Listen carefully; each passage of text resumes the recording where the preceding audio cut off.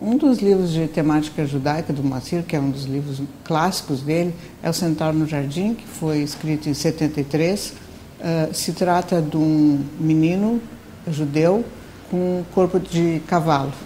Então, esse livro, na verdade, ele exemplifica a, a dualidade dos judeus nascidos na diáspora, em que eles são, em parte, judeus e, em parte, absorvendo toda a cultura do país para o qual eles migraram.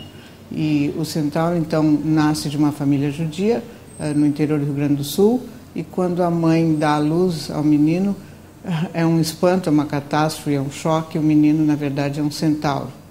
E, e tem umas partes muito engraçadas, mas o livro é muito denso, muito profundo.